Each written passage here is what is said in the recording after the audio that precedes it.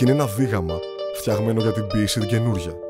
Είναι ένα δίγαμα στα μέτρα του Γιάννη Αντιόχου, του ποιητή που έμαθε στους δρόμους να ζει και να γράφει, των δρόμων τους παλμούς να βρίσκει και στη ζωή να τους διατηρεί.